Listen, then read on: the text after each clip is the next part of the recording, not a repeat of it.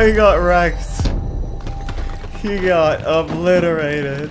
Yeah, you better know where you're going.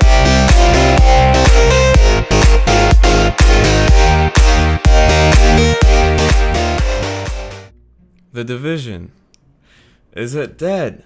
Ah, that's what we're all wondering. Um, now, I, the following footage is from the PTS, and if you don't know what the PTS is, it's basically the public test server for the PC users. Um, we get to test the 1.4 patch before the update arrives for consoles and everything else in October.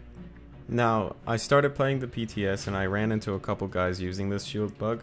Now, what we did is we made peace with each other, made love, and then we started testing, you know, how everything works and what works and what doesn't. To get this shield bug to work, what you need to do is you need to get the mobile cover with the explosive attachment to it. Now once you get it, it's pretty straightforward. You just throw it on the ground and then you press the same button that you threw it on the ground to make it explode.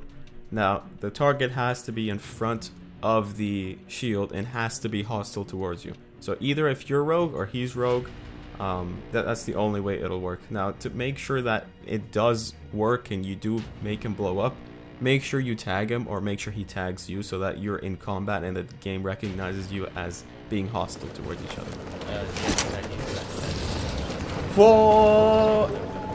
Now I can already imagine a bunch of headless chickens going out there and throwing shields. Um, even though I'm not gonna get any views for this.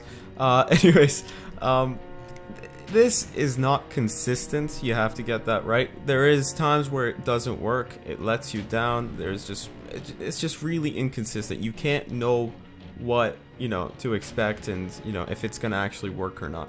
Now there is a way to counter this that I found with my crew is that you have to hug the shield. Now, as you can see in the video, we're hugging the shield and nothing happens to us. So if you see someone putting down a shield to blow you up, first thing, run away. Second thing, if it's really close, you could either jump or hug the shield. Jump over or hug the shield. If you're fr- in front of it, you're basically screwed.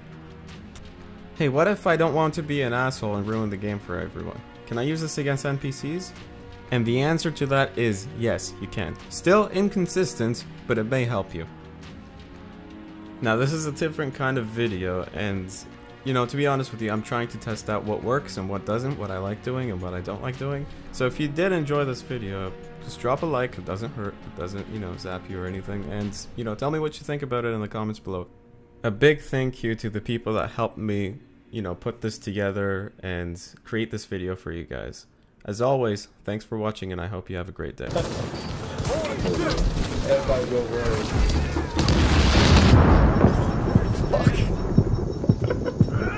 Oh, I made it! I made it!